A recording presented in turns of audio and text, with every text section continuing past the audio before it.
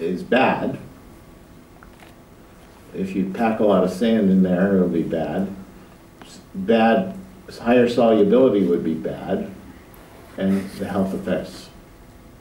But if you resin coat the stuff, you're gonna get better.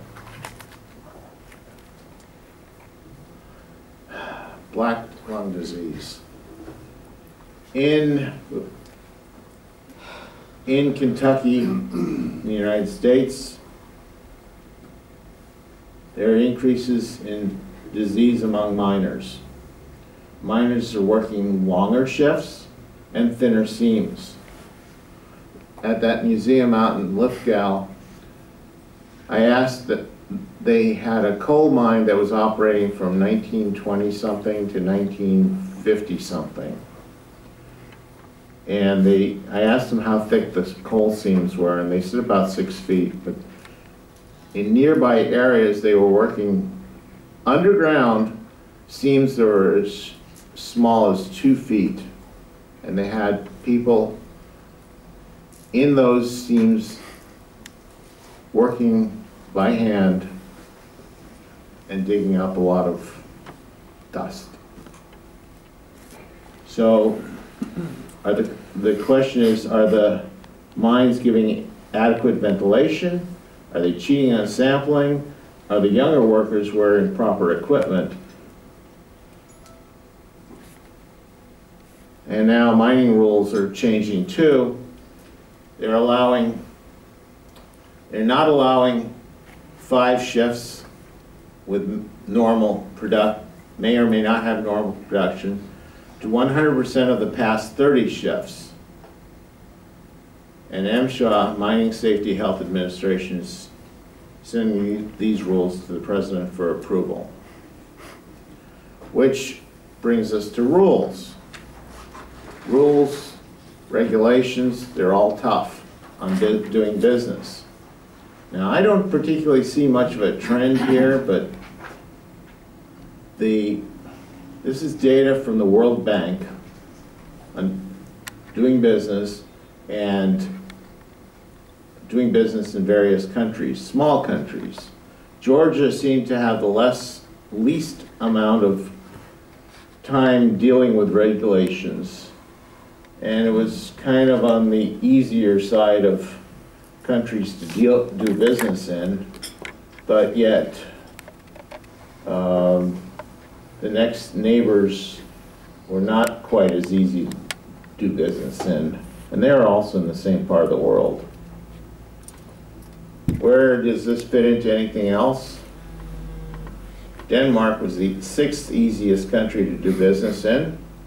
China was number 89, and the United States was number four, with Australia being nine. If you want to look it up yourself and look, have fun with it, you go to this website. So, what have I done in the last year for the EU people? Well, they came up with this te- technical committee 154 for lightweight aggregates re- related to re- regulated dangerous substances. And the question is, what happens if you dump perlite in soil? Well, as we know, it's a good thing. But they want to know what happens if it's bound in concrete or just by itself. So I wrote a letter including all relevant facts and uses to try to accept, receive acceptance without further testing. We haven't heard back yet. Denise? No, I haven't got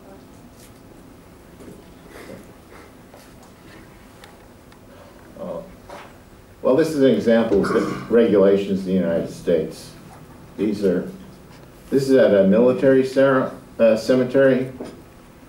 And the question, you want to bring flowers in to lay on a grave. Well,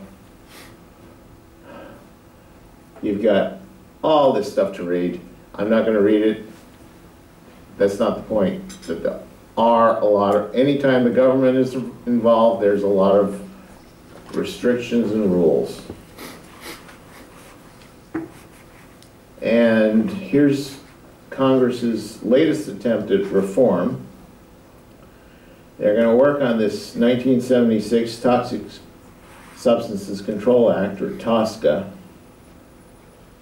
And this is a bipartisan bill. The, uh, I think Senator Lautenberg from New Jersey died a few months ago, and uh, Mr. Vitter and he had been working on this. So there is bipartisan support, but probably one of the few things out there that does.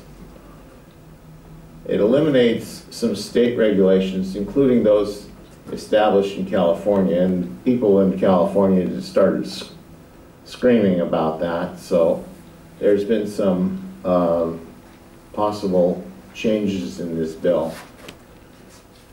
It contravenes state exemptions first introduced in the Federal Air Quality Act and later codified in the Clean Air Act. So, It threatens Proposition 65, the warning labels rules, threatens California, uh, the Global Warming Solutions Act of 2006, does things on threatens the ban and sale and possession of shark fins, foie gras, inefficient light bulbs, and the sale of eggs laid by battery hens. These are just examples. Threatens the California Green Initiative, uh, Green Chemistry Initiative, expands the EPA powers to screen chemicals for safety, but does not establish timelines to establish, uh, accomplish those tasks. Speaking of California 65, the, uh, in, for 2014, the- the chemicals on the left have been added to the Prop 65 list. And this is typical compounds that you'd find these materials in all over the place everything sunblock to inks to household cleansers, hardware, flavor enhancers, and back to respirable crystalline silica. Before I left, I found out that they are going to be looking at establishing what they call a safe harbor limit concentration for respirable crystalline silica. But they won't be doing that, it's only a, for quite a while, it's only a third priority. It's not first priority or second priority, it's only a third. There's probably a thousand chemicals on this list. It goes through fifth priority, so we're somewhere in the middle.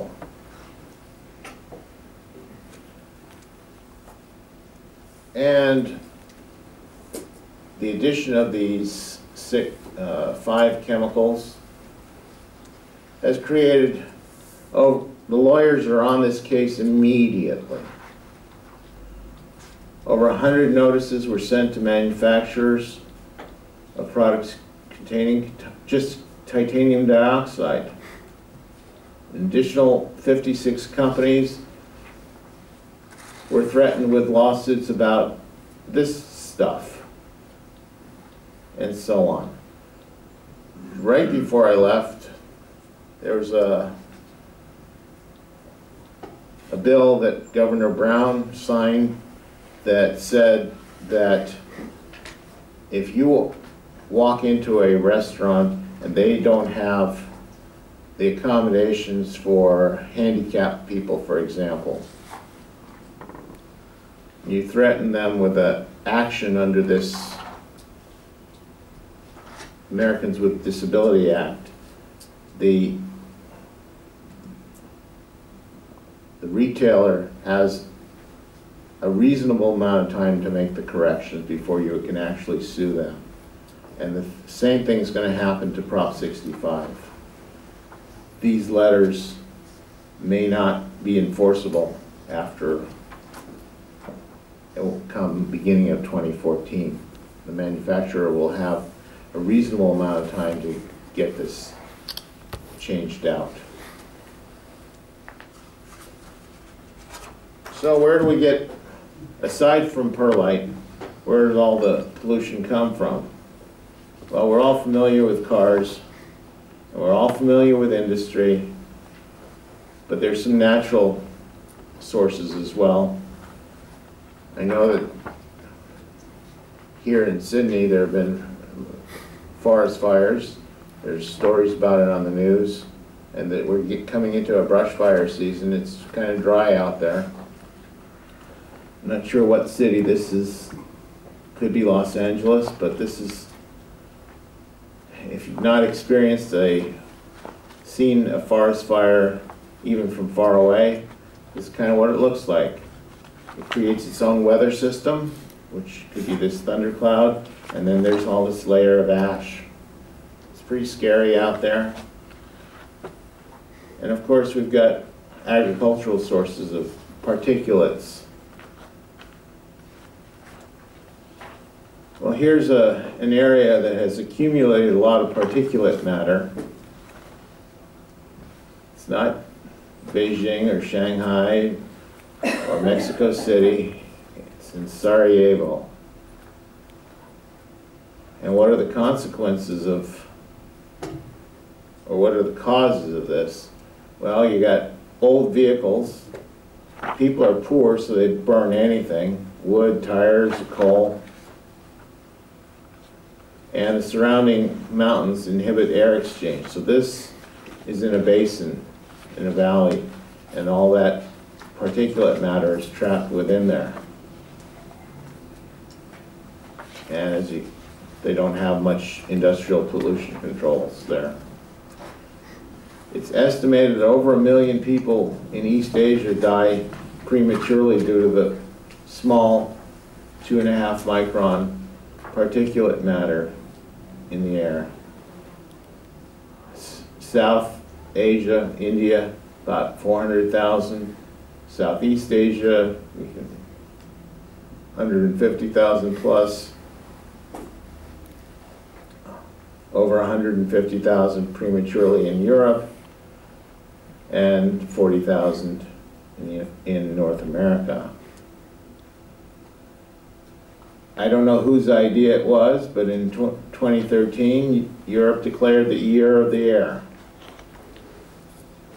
Uh, They, they developed 10 concise principles, but in practice, nothing legal can ever be concise.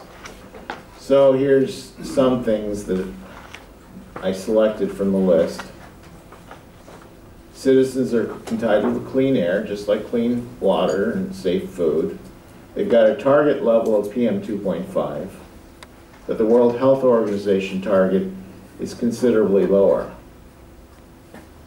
American Cancer Society estimated that mortality increases by 6 to 8 percent for every 10 micrograms per cubic meter increase.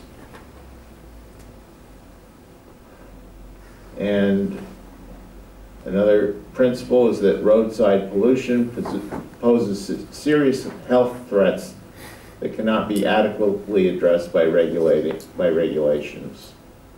Non-tailpipe emissions also pose a health threat for road users and subjects living close to busy roads. Now, one of the things, Adam, I don't know what happened, uh, I think you, I gave you the task of finding out if anything had happened with that pavement company in, in Australia, or was it Andrew? Well, I think it was me, I don't recall. In recall. the roadside, The, the road, yeah, well, Paul can knock out on it. Oh. Paul, no, Oh, he's, he's just stepped out for a minute. Oh. Um, yeah, we were looking at doing some trials on that, um, using a blend of vermiculite and uh, paper pulp. Um, they, they did a small trial, um, which um, uh, wasn't very, not that it wasn't very effective, it wasn't an effective trial. Um, the trial was poorly designed. So looking at redoing an, another trial, and um, I think that's still waiting for scheduling. For yeah, so it's not just the um, here, it's not just about um, absorbing runoff, but also acting as a uh, fire retardant, because only last week we had um, some very, very hot weather and um, brush fires were forming on the side of the road just from people driving along and flicking cigarette butts out and starting bush fire, brush fires, um, which closed roads down and all sorts of things. So using um, vermiculite, it was vermiculite more so than perlite in that Oh, okay. um, as a retardant. But I think we were working on a blend of perlite and vermiculite. Just, we're, I'm thinking that uh, to cushion the, the asphalt against kicking up sand, maybe increase the, the asphalt content a little bit with, by using the vermiculite or the perlite, and it'll keep the sand in and keep the particulate level down. I don't know. But anyways, you got people living ne- near busy roads, and these could pose a health threat. And nitrogen dioxide emissions are much higher than anticipated. So when they're actually testing for particulates, change the, the ratio of nitrogen dioxide versus all nitrogen oxides. And combustion of biomass fuel produ- produces toxic pollutants, and we all know that wildfires create problems for, for breathing. They'll also, uh, take a look at the limit values for the major air pollutants and possibly get the limits closer to developed, uh, limits in the US and other developed countries. This is an interesting one. I call it the Great Wall of Mulch. There's a, a freeway, you'll see the, the location in a minute. But they're putting leaf litter and other compostable materials in between two chain link fences. And they're hoping to cut back on particulate matter and other kind of pollution that drifting through there. While we were headed out to the Blue Mountains, I had Jose take a photograph of something they're doing here by roadsides where they've got a wire mesh around rocks. And it's, which is sort of similar to the concept, I believe, in the state of Washington with the, where they've got the dolomite and the gravel and the perlite, except this is actually, what they're doing here is designed so that rocks don't fall down and that other materials don't fall down on. Uh, there was, this morning, there's a report of a tanker truck that got, that flipped over and exploded near here somewhere. And fuel escaped, and they were worried about how much fuel actually made it into the streams and into the water uh, supply, the, the groundwater. So they're gonna evaluate that, but if they had something to catch all that stuff on the side of the road, perhaps all he would have had to do is dig up the, the perlite, the vermiculite, the, the absorbent of whatever kind, and replace it and go on with life. But you'll see in here in a minute, here's the location. And that great wall of mulch is gonna go here. Here's a park. There's a school over here, down here somewhere. Here are community gardens. There's a freeway here. There are rail lines here. And there's homes over here. So all these people over here live downwind of rail lines, freeways, And they may be eating produce grown in these gardens, which could be contaminated with heavy metals and organic pollutants off of tires, off of diesel uh, fumes. We'll see what happens. So the question is, is this three-foot meter thick layer of mulch tree trimmings gonna help anything? It's twelve feet tall. They'll see about the compaction resistance over time. Can it reduce sound or noise from adjacent roads and tracks? Will it reduce pollution, the smells? Can it cut down respiratory illnesses of the people who live in the area? And can it cut back on the heavy metal content in the soils? So, will perlite increase the mul, if, let's assume that it does work, sort of, but they need to get more throughput. Would the perlite increase the mulch porosity, increase the filtration ability, help them ma- maintain dimensional stability, or have a negative effect? If you have an opportunity, please try this at home. Or something like that. This is an example of site remediation. There's heavy equipment involved. They're digging up stuff.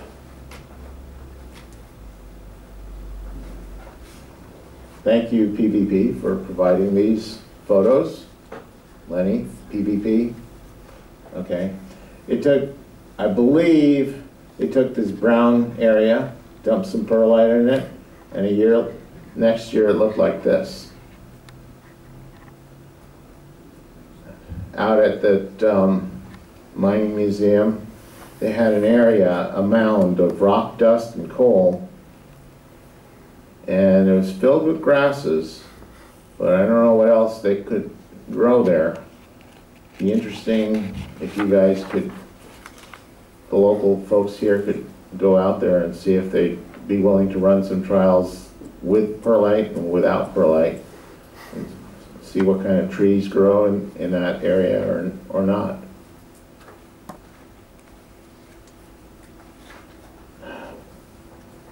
Another thing that's in, on people's minds now is climate change. What is it? What to do about it?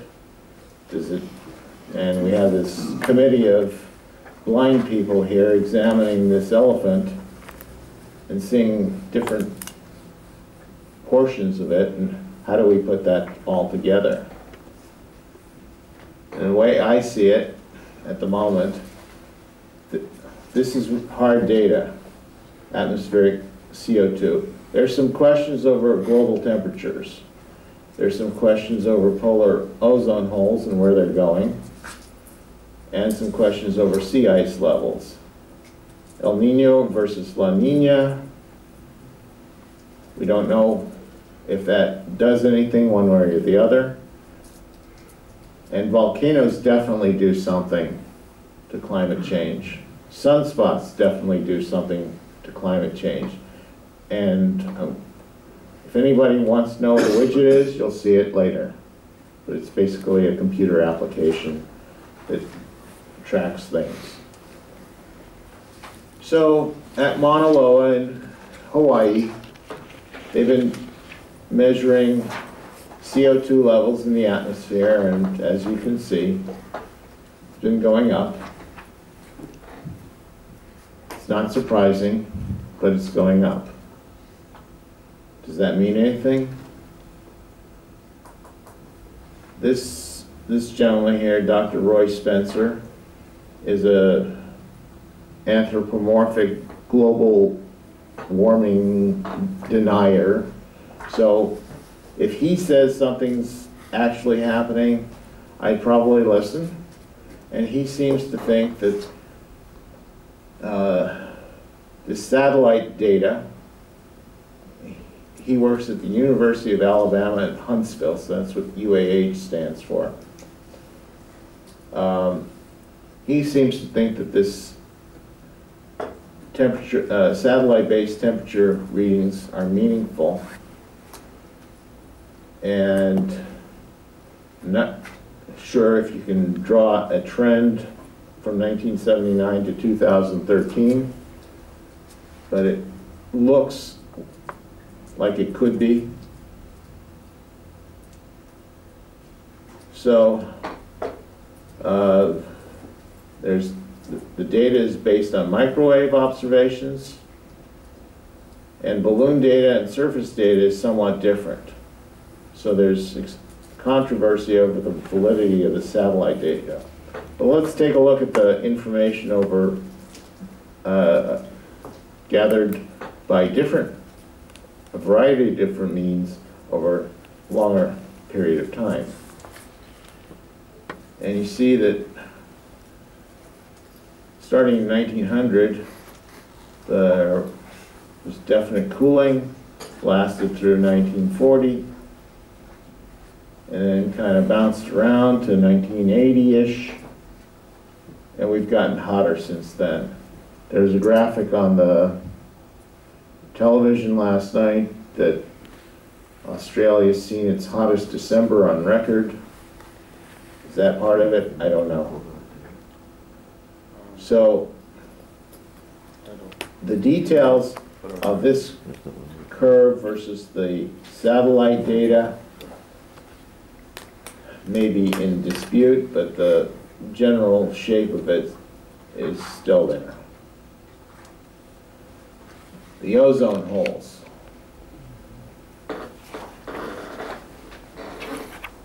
The ozone holes may, in the Arctic, there was thinning, may have been an anomaly. Unusually calm spring winds, extreme cold, and chlor- high chlorine concentrations in the atmosphere. In the Antarctic, what this shows, the hole continues to improve, but does it shift clouds southward, increasing energy flux to the surface? Maybe. So in other words, the uh, lower latitudes in the southern hemisphere may be getting more sunlight because cloudy, cloudiness tends to go to the higher latitudes. In the Arctic, sea ice has been below normal the past four years. In February, been way below normal in September. And it looked like, who knows what it was, this was the latest data for July 2013 that I found. Don't know where it's gonna wind up as a minimum here.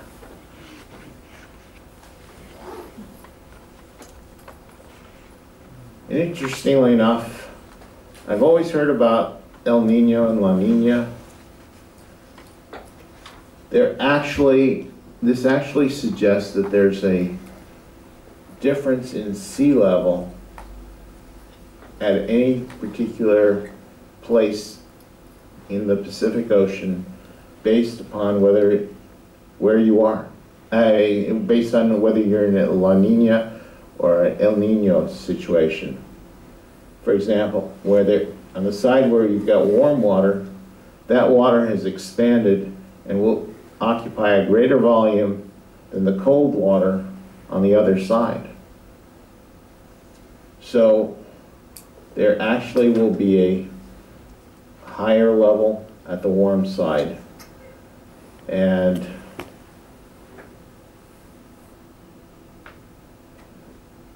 El Nino gives Southern California at least a lot of rain. La Nina does not. There's also, as I mentioned, volcanic activity that affects global temperatures. As of August 19th, when I prepared this, there are over 30 volcanoes actively erupting around the world. And 30 more that were under eruption alert or having minor events, in other words, burp. Burp. I didn't have any data com- to compare to.